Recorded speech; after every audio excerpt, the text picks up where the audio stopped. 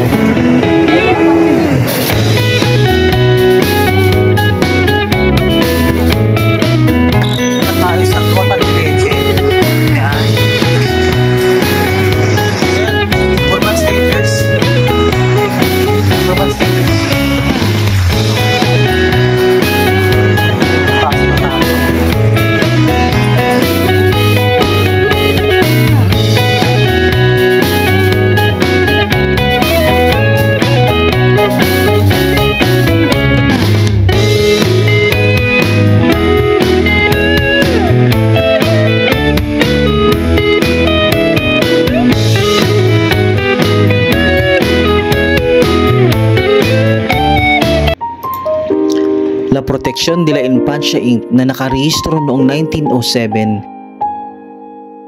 pinakamatandang citizen-led charity organization sa Pilipinas. Kilala ito sa kasaysayan bilang Gota de Leche, ang programang itinatag ng mga feminist at makabayan sa Maynila noong 1906. Nagbigay ito ng suporta sa nutrisyon sa mga mahihirap ng malnourished na bata at mga ina Walang patid na operasyon sa pamamagitan ng World War II sa pamamagitan ng mga epidemya at kalamidad.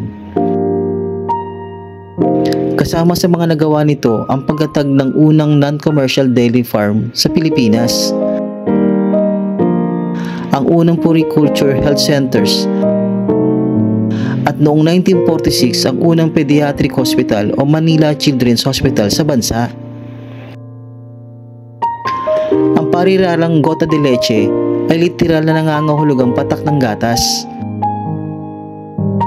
Ay isang pundasyon na sinimula ni Trinidad Rizal ay isang Pilipina feminist leader at co-founder ng unang feminist organization ng Pilipinas. Ang Asosasyon Feminista Pilipina, kapatid ng Philippine National Hero na si Dr. Jose Rizal.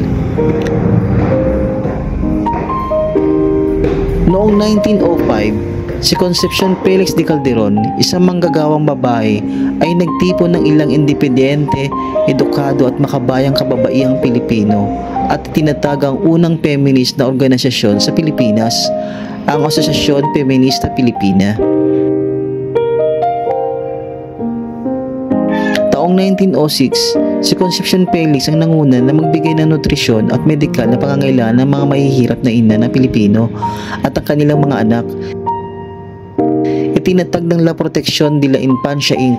na nagtataguyod ng kalusugan ng mga bata at kababaihan. Ang foundation ay patuloy na naghahatid ng pang-araw-araw na rasyon ng gatas sa mga sanggol ng Pilipino. Unang taon sa kadalawampung siglo ay isang kakilakilabot na panahon upang ipanganak bilang isang Pilipino. Habang ang mga Pilipino ay naguguluhan pa rin sa resulta ng Revolusyong Pilipino at mga digmaang Pilipino-Amerikano. Ang infant mortality sa bansa ay kabilang sa pinakamataas sa mundo. Ayon sa mga tala sa kasaysayan, daan-daang batang Pilipino ang namamatay bago umabot sa edad na isa apat lamang sa sampung bagong panganak ang nabubuhay.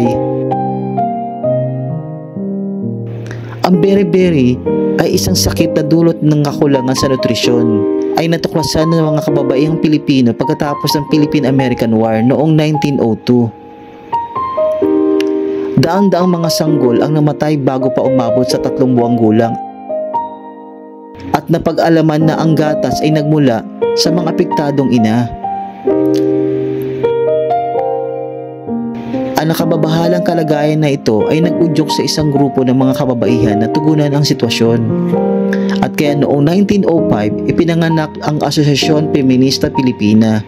Ito ay pinamunuan ni Trinidad Rizal at Concepcion Felix kasamang iba pang mga edukadong kababaihan noong panahong iyon. Sa pagpasok ng siglo, ang mga doktor na Pilipino ay naghahanap ng mga paraan upang malutas ang problemang ito. Sa oras din na ito, dahil radikal ang mga idoliya, ang mga kababayang Pilipino ay nagsimula mangampanya sa publiko para sa kanilang mga karapatan.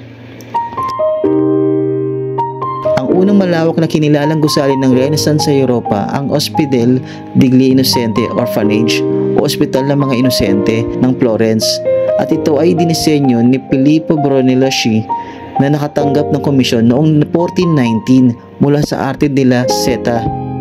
Ito ay orihinal na bahay ampunan ng mga bata. Ito ay tinuturing na isang kapansing-pansing halimbawa ng sinaunang arkitektura ng Renaissance ng Italia. At ito rin ang naging inspirasyon para sa disenyo ng gusali ng Gota de Leche. Ang mga elemento tulad ng mga semicircular arches, antondi circular reliefs na naglalarawan ng mga sanggol at ang mga bilog na column ay kitang-kita sa parehong mga gusali. Ngunit marahil ang pinakahalatang pagkakatulad sa pagitan ng dalawang gusali ay kung paano sila idinisenyo upang tanggapin at talagaan ang maliliit na bata. Ang pagkatayo nito ay binanggit bilang isang pambihira at isang matagumpay na adaptasyon ng arkitektura ng Renaissance ng Italiano sa isang tropical na setting. Nagtatampok ang gusali ng mga bakas na hubilugan ng bintana malapit sa kisamin na nagpapahintulot sa mainit na hangin na tumaas at malamig na hangin na manatili sa ibaba. Malaking kapis embedded shutters ay maaaring lumabas ng buo upang hayaang pumasok ang simoy ng hangin ang isang bakuran sa harap na may fountain ay ginawang hardin ng gulay upang magbigay ng mga karagdagang sangkap para sa masustansyang pagkain. Sa halip na gibain ng gusali ng gota de leche ay biniling sa kanyang dati niyang disenyo at struktura, ngunit makikita pa rin ang bakas sa blueprint ang kanyang kabuuan. May mga nagbago sa mga nagdaang panahon pagdating sa kanyang partiyan ng arkitektura na ngayon ay ginawang parke na ng mga sasakyan. Ang Goto de Leche ay naging isang maliwanag na halimbawa ng kahalaga ng heritage structures ang halaga ng mga makasaysayang gusali bilang alternatibo sa demolusyon. Makikita sa mga bisita ang ganat na buo nitong orihinal na mga kisaming gawa ng kahoy, mga sa mga molding na ukit, at nakalantad na truss ay mahalagang isang triangulated system ng mga tuwid na magkakaugnay na elemento ng struktura ang pinakakaraniwang paggamit ng mga trusses ay sa mga gusali kung saan ang suporta sa mga bubong. Pinangunahan ng Pangulo ng Gota de Leche at ginagala na arkitekto na si Augusto Villalun ang panunumbalik ng gusali. Ang mga original na arkitekto ng gusali na si Juan at Adcadio Arellano Ito ay isang multi-awarded na institusyon. Ang gusali ay nakatanggap ng honorable mention ng UNESCO Asia Pacific Heritage Awards para sa Cultural Heritage Conservation noong 2003. Nagbukas ito ng karagdagang suporta mula sa National Commission on Culture and the Arts. Noong Agosto 2014, idineklara ng National Museum of the Philippines ang gusali ng Gota de Leche bilang isang mahalagang ari-arian ng kultura na ito ay isang ganap na gumaganang heritage sites na literal na nagbubukas ng mga pinto nito sa mga nangangailangan para sa mga mahihirap na bata at ina at mga nawala ng tirahan ng bagyong Yolanda. Sa kasulukuyan, ito ay naging lugar na para sa mahalagang pagpupulong, konsyerto, seremonya ng pagpupugay at maging sa mga telenovela shoots ang pangunahing layunin ng pagtitipon ay talakayin ang posibilidad at magtayo ng istasyon ng gatas sa Pilipinas upang labanan ang matataas na rate ng pagkamatay ng mga sanggol noong panahong iyon.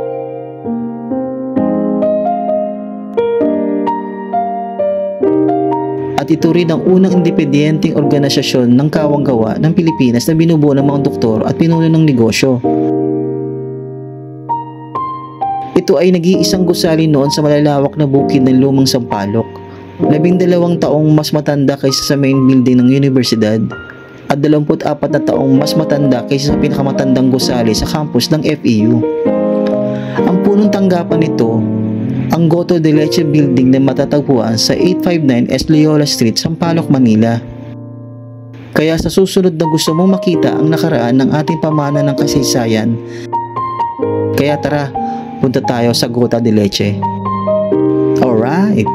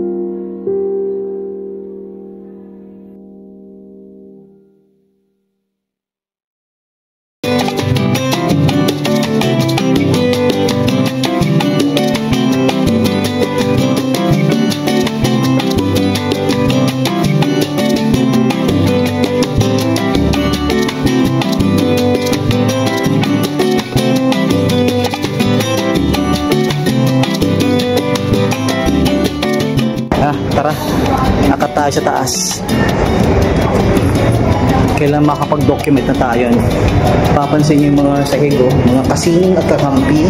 Nandito na tayo sa Gota de Leche, dito sa uh, may recto, no? Sa may Loyola. So, mula kanina, nilakad lang natin. So, pakata tayo dun sa ito pinaka-second floor. Yung design niya, uh, Italian architecture, no? So, ito, di-research ko na. So, ginawa siya, mga 1915. So, pasok pa rin siya dun sa part ng Art Deco. Tsaka early moderns. Yan. Yung early moderns, ito yung parang pagkakubisin kasi yung geometric tsaka yung column niya tsaka yung arts niya makikita mo yung influence ng mga yubog no, sa sa sarado oh my god sarado so makikita mo yung taas ng ceiling tsaka yung ano oh, medyo may sira na yung taas na yan no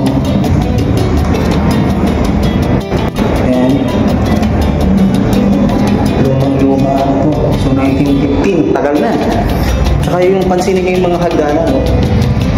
Diba? Iba yung mga linya niyan, yung mga lines yan.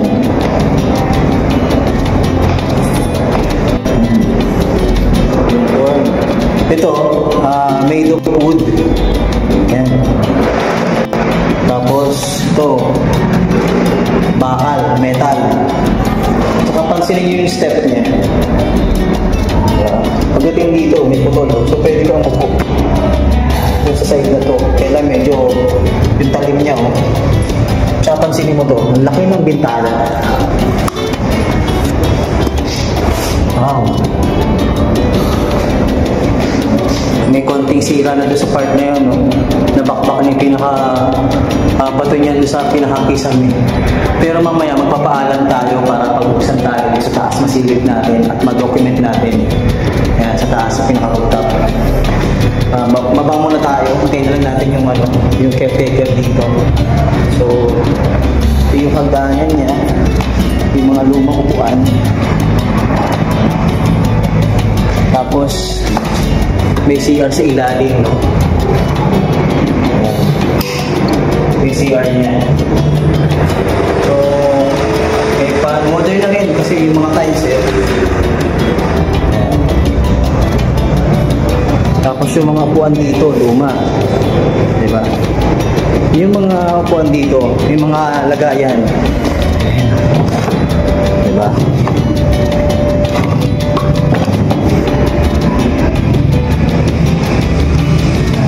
So, pwede mo din ilagay yung mga gamit mo pa. Sapatos, kung ano yung mga abugot. Yan. Tapos, napansin ko parang may mga Latin dito sa taas. Ayun, no?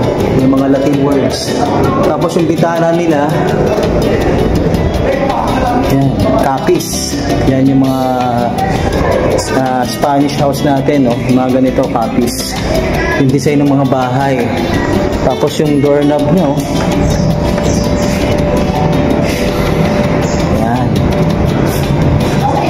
Classic pa rin. Hello. Ate, sarado pala yung taas. Dito. Sayang para ma-vlog ko. Close daw ang taas. Hello po. Close. Mabablog daw yun. Kasama ko sa Urban Skater, sir. Ah, invite ako eh. Tsaka ako yung nagda-document para ma-vlog na rin yung lugar. Promote yung historical heritage. Ah, okay lang. Sige. Salamat. Sir, ano pangalan? Ha? Ano po pangalan? Willie. Si Willie, si Sir Willie. So, nagpaalam tayo sa kanya na bakit buksan tayo sa taas. Yan. Akala ko sarado. Sarado na. Oo.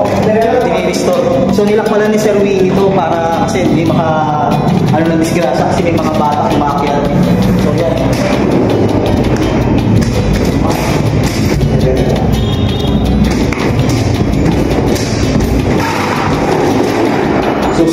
lang siya.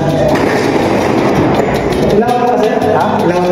Oo, yes. Para makita ako natin yung ganda ng ano, taas. Wow. Pero di na. Sige sir, yung kaya lang. Wow.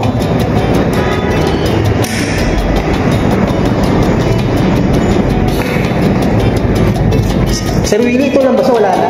Wala na. Dead end na siya? Ah, sa kabila meron din? Pero ano lang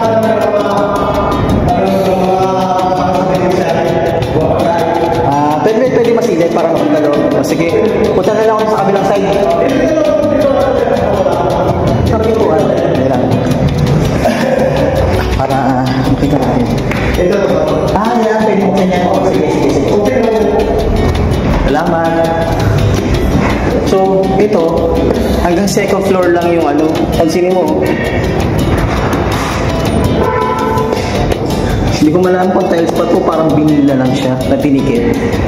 May mga sira na. Tapos ito, sliding, pero glass. Tapos yung bintana, medyo mainit dito. Ayan. Hindi natin pinagbukas yung maraming ilaw kasi medyo ito, nakikita pa rin yung mga sira niya. Ito sobrang tagal na nito eh. So mahirap talaga i-maintain yung mga lumang bahay. Itong design nito, yun nga, Italian architecture no, ni Juan Arellano. Yung kulay niya, yung very European.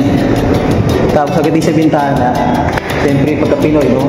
Ah, Philippine Spanish yung sa ano, yung bintana, ah, copies.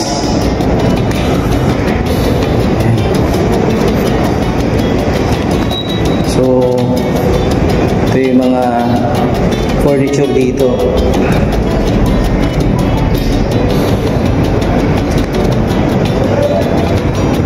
Ito yung mga silya. So, yun, dead end lang. Ganito lang siya. So, tingnan natin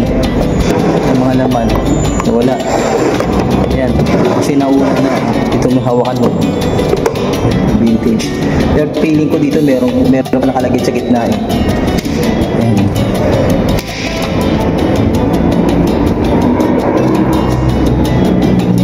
Pinakalong table nila pero oval ang dating kanto. Yan.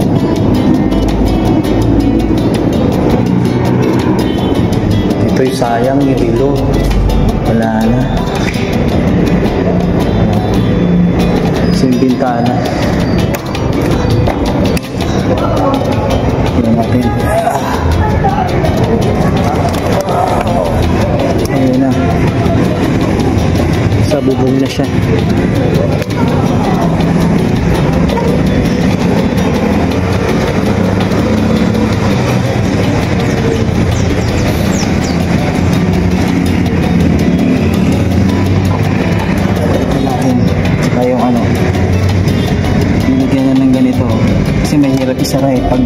Nababasa ng ulan na stock. So nagkaroon kami din ganito no? Natira din ako sa lumang bahay. Actually pag mga ganyan wala talagang ganyan sa mga lumang bahay. So nilagay nila kasi nga pag nababasa hindi nalalagyan ng wax. Yun mahirap ng buksan na lalak.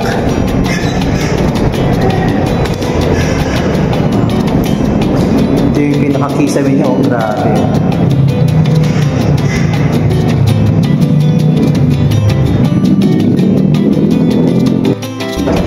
nandito tayo sa taas, no? Buksan natin tong bintana. So, para makita natin kung ano yung mga katabi niya.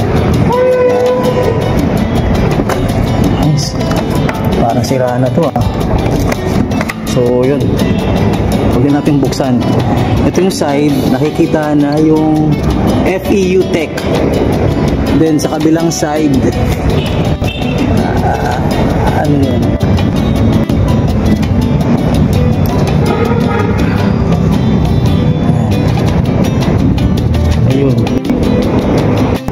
FEU.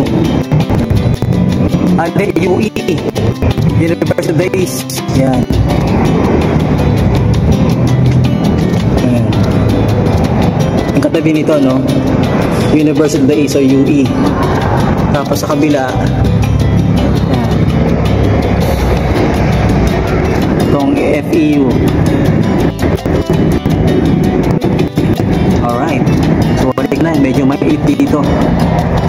Tiniyagan tayo kahit paano masilip itong Gota de Leche. Alright.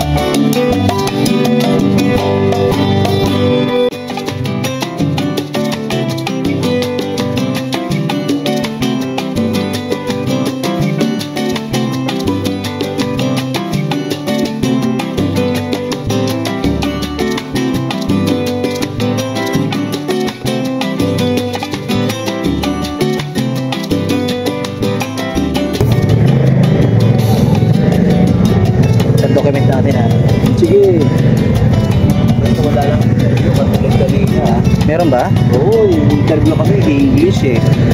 Pwede naman, gusto niyo ba? Konti lang yung English kasi namin, eh, naubos na kanina. Ah, okay, sige. Ayos lang yan. Kasi yung ano niya nga daw sa ano, abroad. Saan? Sa abroad.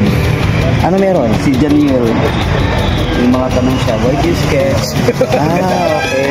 Ah, pang ano, pang ano, Buenos, ano, Espanyol? Buenos Aires.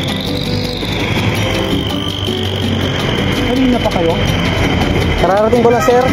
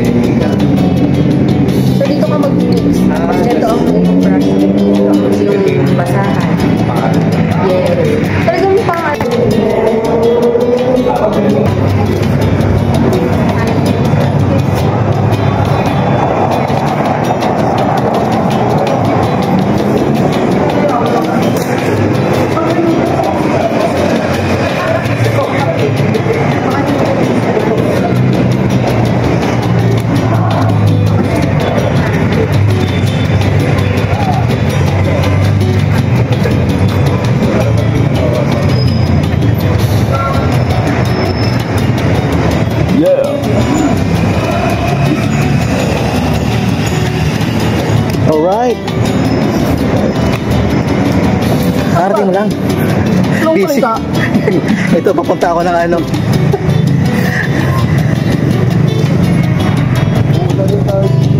Ulan na. Yung mga patiin. na. Oo, sa katiyan. Sa Kanina ka pa.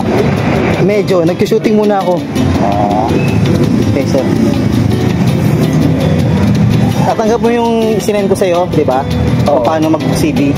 Oo. Meron akong sample dyan.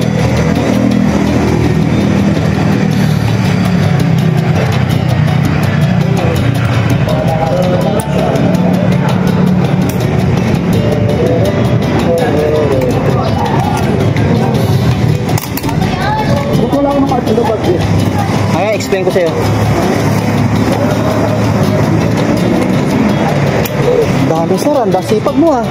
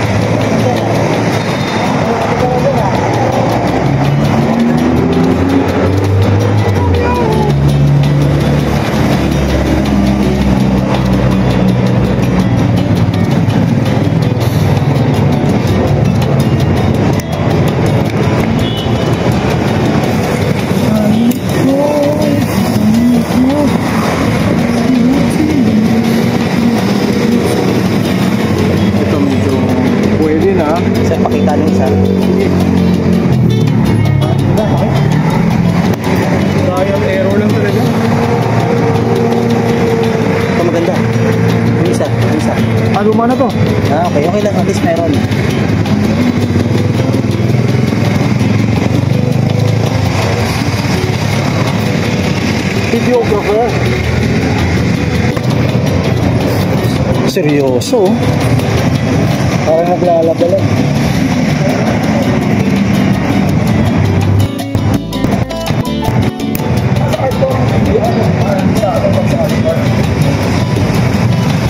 Okay. Pero bihira mag-yud, no? Ah, sige. Very many English. If many English, our nose will bleed. Right, kuya? Talaga pag nagugutom na. ano.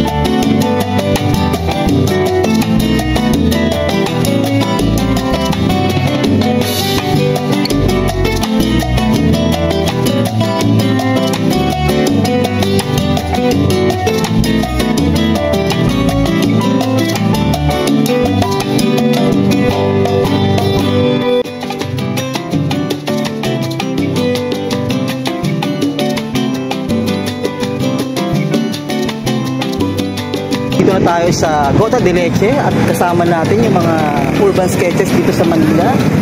Bro, introduce yourself. Hello, I'm Tito Abin. I don't very many English, so I keep myself quiet. Alright. Tamo ah, may baon siya. Then, ito pa ang isang alagad nating kasining, dati nating kasama, kababata. Hello, ako si Arman Yuturing, dati ako Baguio artist. Eh, ngayon, nandito tayo sa Maynila para ituloy ang legacy ng mga Amerikano sa Pilipinas. Alright. Okay?